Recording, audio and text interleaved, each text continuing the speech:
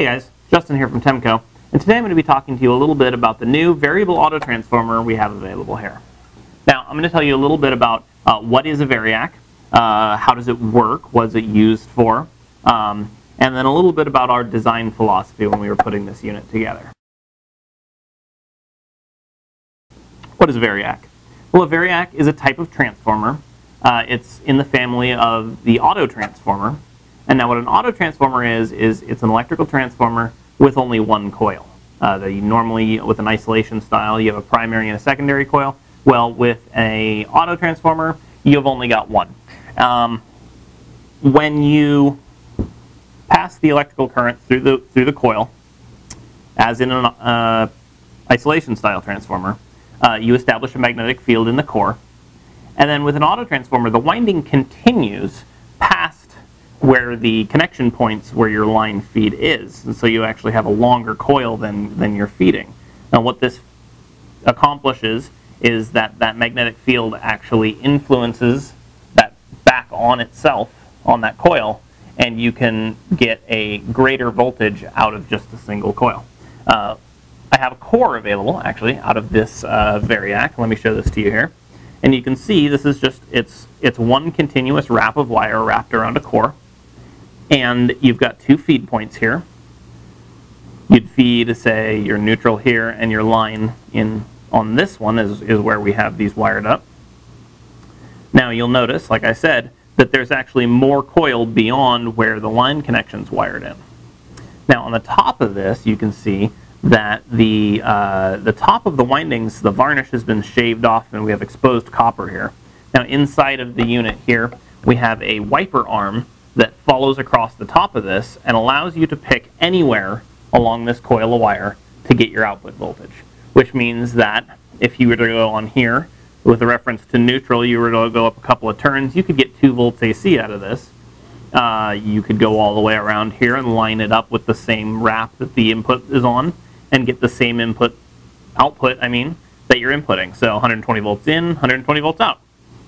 Uh, continue past that, and go to the other end of this one, this core specifically, uh, you can get to all the way to 140 volts just by just by uh, like I said, going along past where that that feed point is, and the magnetic field's actually going to be influencing the voltage on this latter half of the coil over here. Use one of these when you either want to set voltage or adjust voltage on the fly. Um, and for an example, I'm going to show you here on the scope. This is the output waveform from our Variac here. And you can see as I turn the knob up and down that very smoothly the voltage transitions uh, anywhere from 0 volts here all the way up into the 140 volt range. Um, and you can see there's no flicker or anything like that, so it's not changing taps or anything like that. It's very smooth sweep across those sanded copper portions that I was showing you earlier. A primary example that I see a lot of people talk about is for dimming light bulbs. An incandescent light bulb, if you were to hook that up to this Variac, you could dim that light bulb from uh, pretty much to the point where it was completely off, all the way up past its full brightness, unless you're in a situation where you don't need, you can't use the noise from a traditional chopper style dimmer. A Variac doesn't make a whole lot of sense for that. There are applications where light, dimming lights with a Variac uh, does make a lot of sense, but there's so many digital chopper style dimmers on the market now that uh, for the most part that's not their primary use. Now the problem is a lot of these heat guns here have absolutely no control or very coarse control over the amount of heat that they put out. So I want to have some way of controlling the heat out of this really well. Uh, and that's where our Variac here comes in. When this is on, and I turn on my Variac, and turn it up to about 120 volts. You can see this runs at full bore. You can hear it there. Um, but like I said, this is this is too hot for my application. So I'll just take my Variac and I'll turn it down. You can hear it's running much slower now. It's much cooler. Um, and I can adjust this real time as it's running and tweak this for the exact heat output I need for my application so I'm not over or under heating. Um, with the heat gun, that's the primary example. Uh, you can run fans with this, you can run all sorts of stuff. Now the way that this is actually functioning, you have two things inside this heat gun. We have a brush type AC motor Uh, this is important to note, brush type uh, means there's brushes in contact with the rotor um, that transfer the power in there. Uh, with standard induction style or shaded pole motors, these don't work quite as well. Uh, the other thing to note is there's a resistance-based heating coil in the front of this heating gun. Um, and when you lower the voltage being put into a resistive heat coil, the heat produced actually goes down.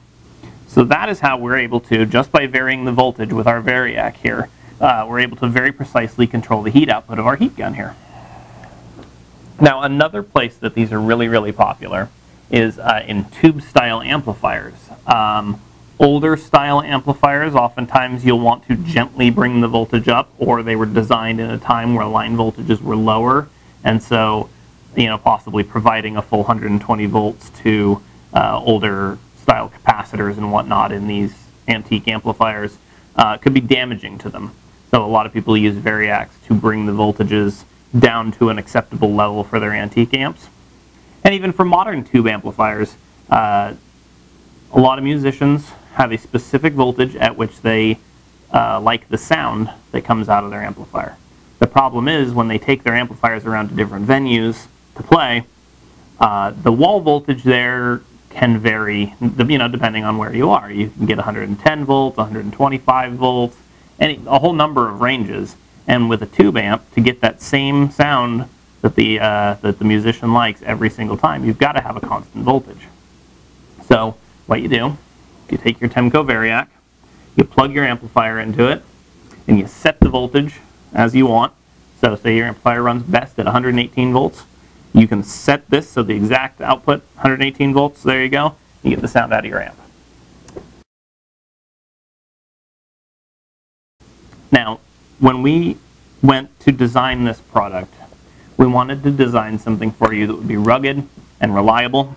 And so what we've done here is make a good heavy sheet metal case, uh, great knob, standard features we include on here for you, on-off switch, grounded three-prong plug. We've got a uh, AC voltmeter on the front of it, as well as a uh, line cord there. So you don't actually have to wire anything up into this. It's all pre-done. There's also a fuse to protect both the Variac and anything you've got plugged into it from overload there. Uh, the other nice feature we've put on these are these great little rubber isolator feet. Uh, this is a really solid platform. These feet really grip well. You can push it. You can actually tip this over by pushing on the side of it. They'll hold on well enough. And part of the design, like I said, we wanted this to be really rugged. So when you've got it up on stage and your, your bass player you know, trips over it and tips it over or something like that, it's not going to hurt it. In fact, it'll probably hurt him more, more than it would hurt the Variac. If you have any questions, post comments or jet on over to our Facebook page, which we'll link here, Temco Industrial Power. Like us on there and shoot us comments or questions on there, and we'd be happy to get back to you. And as always, you can give us a call, area code 510 403 4061. Until next time, guys, thanks.